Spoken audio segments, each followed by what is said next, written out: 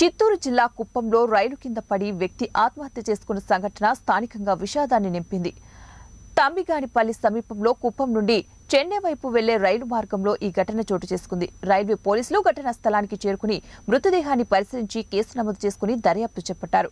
మృతుడు కుప్పం మున్సిపాలిటీ పరిధిలోని మోడల్ కాలనీకి చెందిన ప్లంబర్గా గుర్తించారు. కుటుంబ కలహాలతో ఆత్మహత్య చేసుకున్నట్లు సమాచారం. పూర్తి వివరాలు ఇంకా తెలియాల్సి ఉంది.